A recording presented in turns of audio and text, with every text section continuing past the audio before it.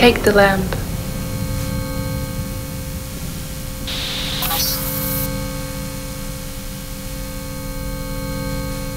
Look around. Who is that?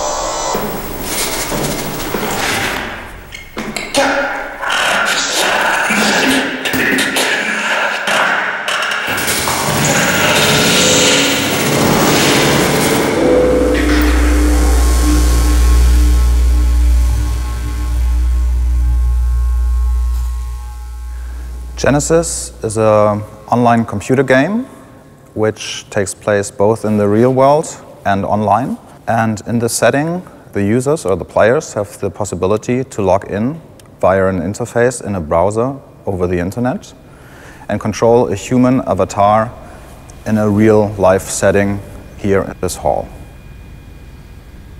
Genesis works in a way that in the hall there are four human avatars who have a wireless camera and a wireless microphone which transmits their perspective, visual and auditive, to a browser window somewhere around the globe.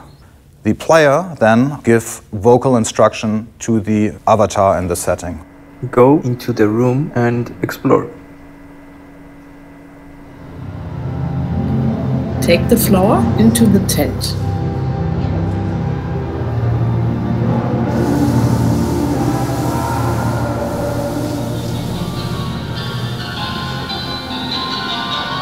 Did you now take his hands and let him stop playing?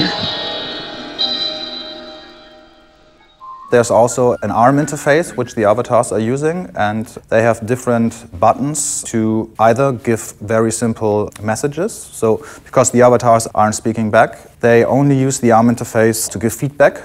And the other thing, what they do with the ARM interface is that they specify their status, like basic human needs. So, as in a computer game, this gives the state of the human avatar and also creates this strange link between something that is very real, very human, but becomes artificial display in the interface of the online game. It's both a game, both an experimental setting, an exploration space, and a setting to learn about digital and virtual impacts on our real analog life. Okay and use your loudspeaker and speak with him. Hi.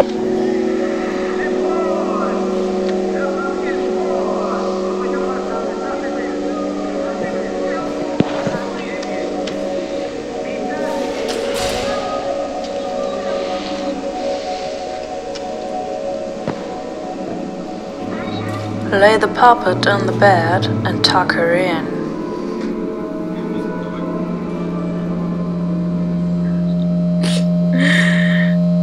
Don't take the flower, you take the sword. No, no, not the saber. The saber belongs to you. You're just a rose. Okay, um, run away. Quickly away. Go, go to the other avatar. Look at yourself in the mirror to see if you can recognize yourself.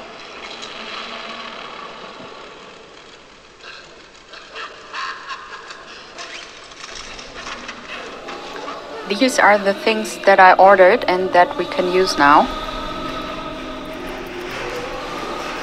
The inventory consists of a wide range of things, starting from building material that can allow the construction of walls and everything, and uh, ranges to very specific social objects, like, for example, kitchenware or games, but also clothes.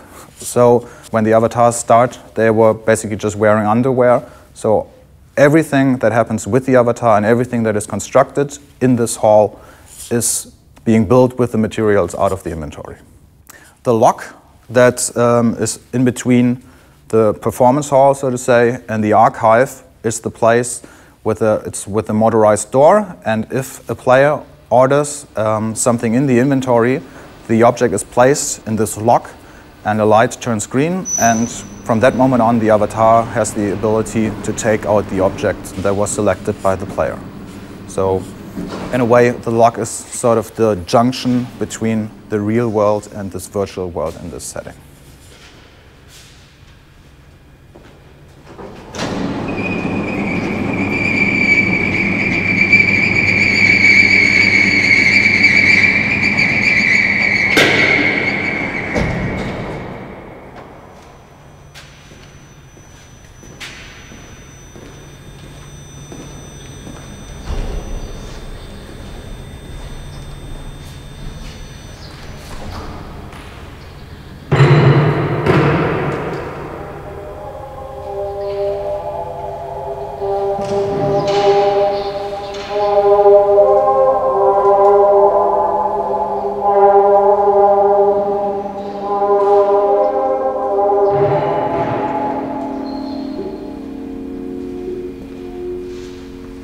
Lower the lamp a little.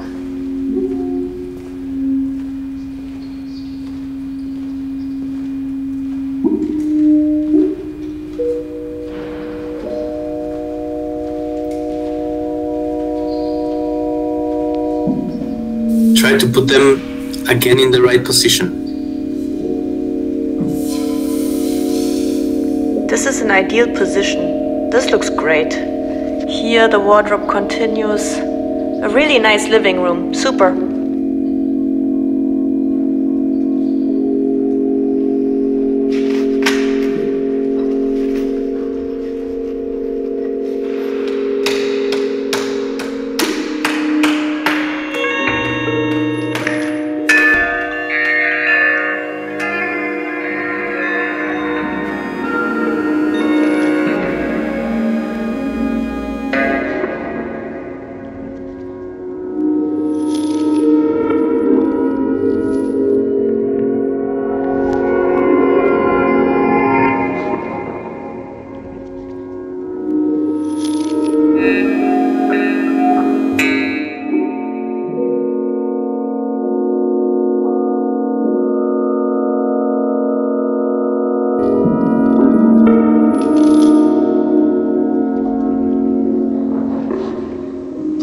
Wrap the chain around your um, right legs.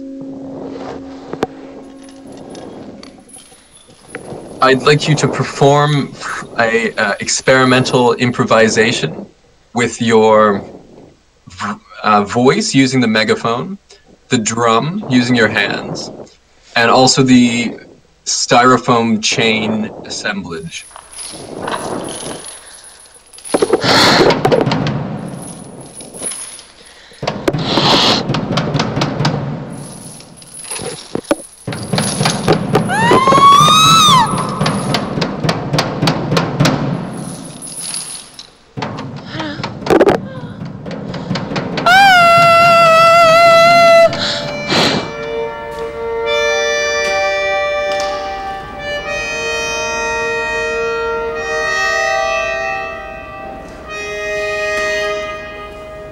When I designed the project, I did not write a single note for it. So the only musical act, so to say, was um, making available the instruments and record players and things like this. So I actually did not really have a high expectation of what would be the outcome, but there was a very clear uh, musical or auditive outcome, which was things being on loop all the time. There were feedbacks, there were guitars, there were demo rhythms of keyboards and so on. So the main uh, like music perception that you had, which was not anticipated from me at all, was things being in a constant loop and going on and on for like super long durations. Can you dance like a zombie? Can you put your arms out in front of you and be a zombie?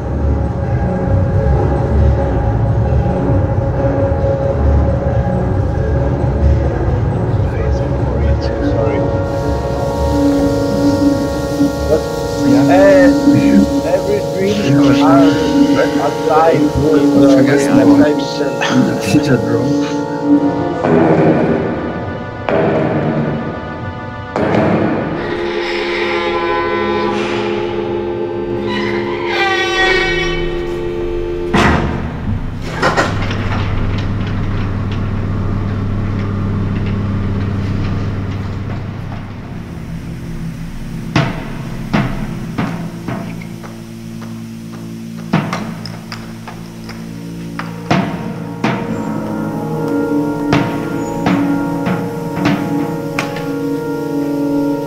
there were the passages with the record player looping and looping over and over and over again, which was in one way distressing, but it also kind of underlined the fact what would happen if you go as an avatar or as a spectator into the room, you were kind of zoning in and going into further and further. It could really make you forget the outside world in a way. And this, um, this constant repetition and going further and further, and also for the other avatars, it's just one loop after the other, one person logging in after the other.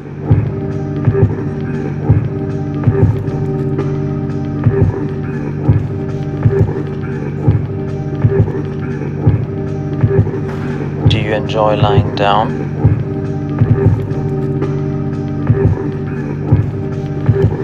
Spin around.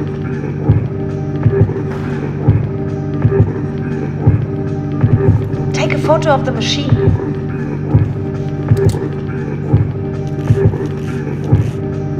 It created a situation in which an immediate link was established with each player. Mostly, this would lead to intimate and caring behaviors and interactions. But I also encountered situations of control and dominant instructions. Even um, abusive comments were given. Lie next to him on the bed.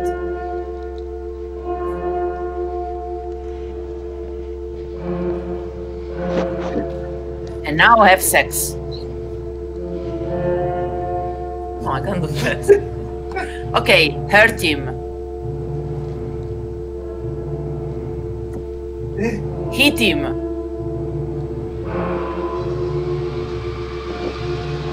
Okay, go to the wall and put your body against the wall. And one leg up.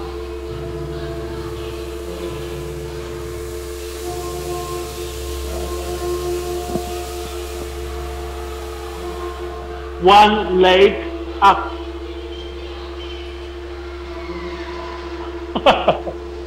Destroy the wall.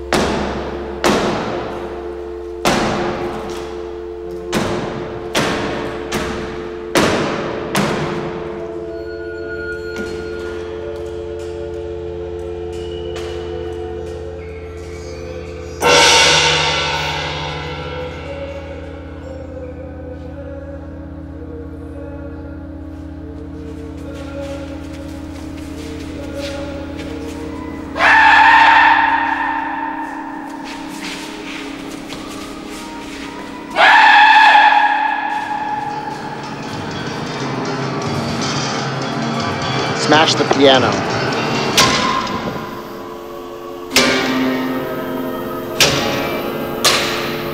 Probier's mal mit der Brechstange. Können wir damit irgendwas hebeln? Ja.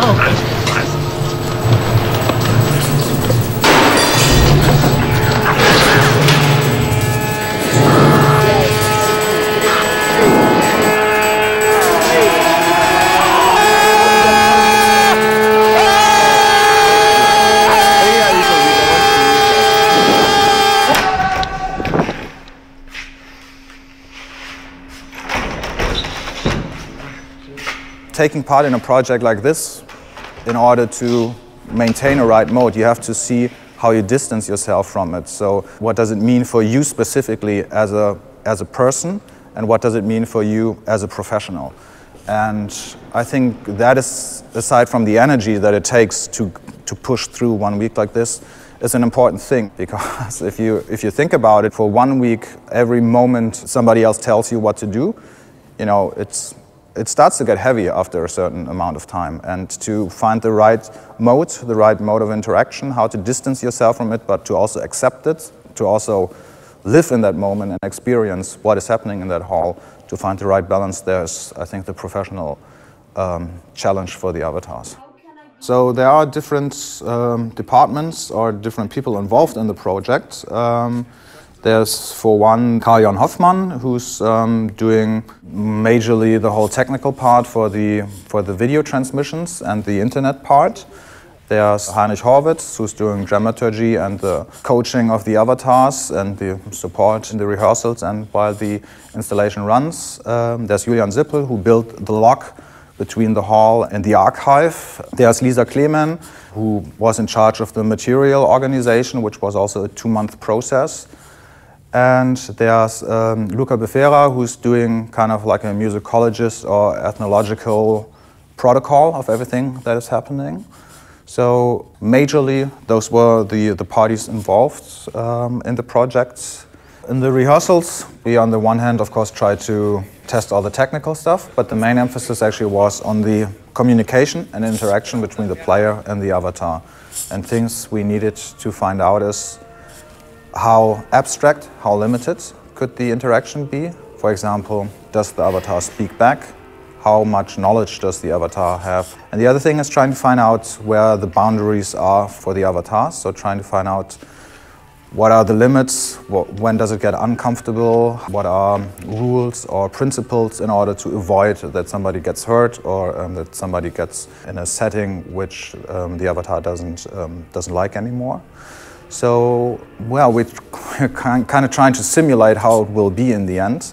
The whole thing about this piece is that it is impossible to completely test it because we don't know what people are going to do in real life when the thing runs for a week. We are trying our best to think of all possible negative outcomes also and try to reduce the risk as much as possible.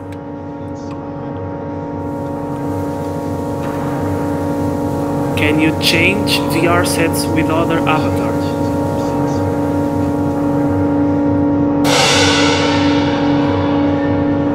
Do you have an opinion?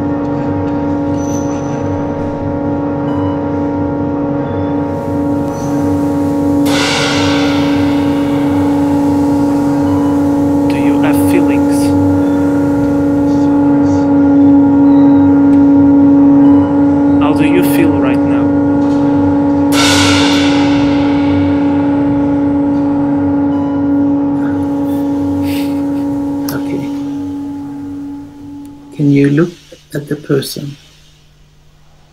Explore the person.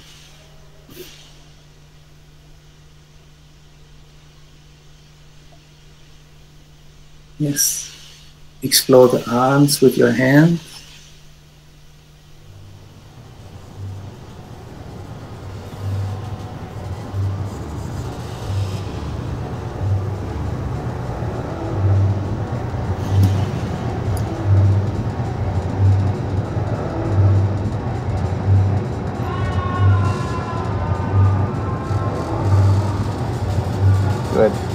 Now take your index finger, your first finger, and rub their lips very gently. Yes, rub their lips very gently, very sensually. The four performers, Jana Tönnes, Carola Schaal, Max Pross, and Fabian Oehl, didn't know each other in advance, so they never worked with each other before. And being together in this kind of installation for such a long time, of course, asks from all of them a big impact and is really demanding.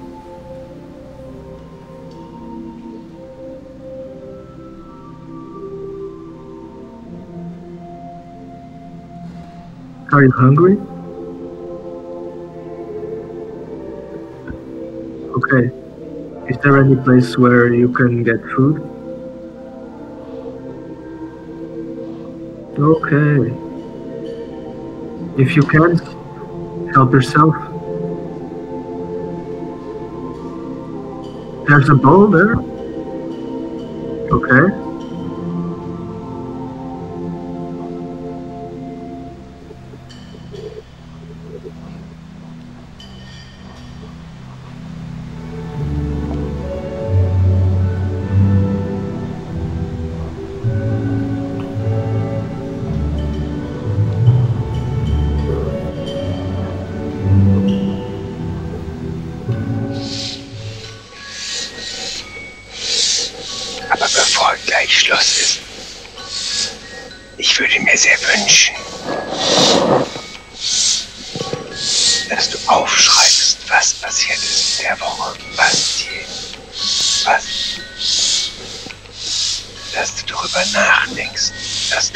Schauspieler warst, sondern der Besucher.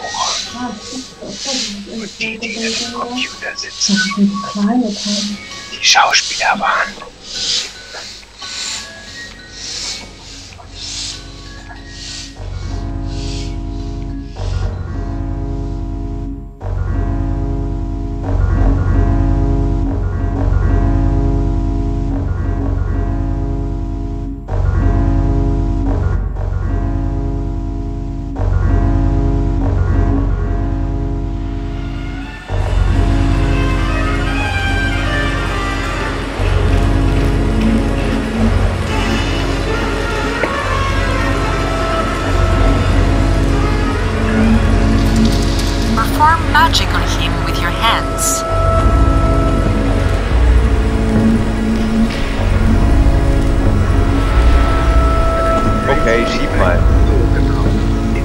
Rothaarigen Avatar. Einmal, auch im Kreis rum.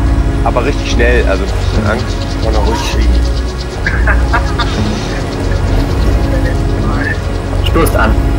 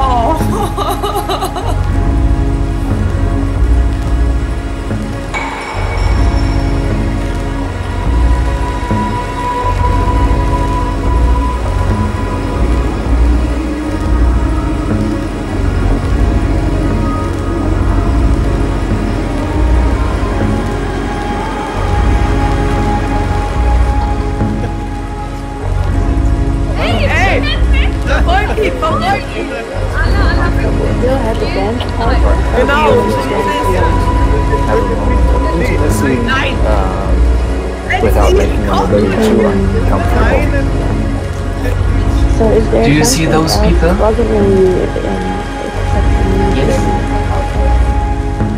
I like to display the spectrum of something. So the way I understand art in this context is not so much to to imagine a setting or tell a story, but rather to depict something or to represent something. So I don't want to tell a story in which I show what impacts of technology are good or bad. I just want to create a setting where it happens on its own.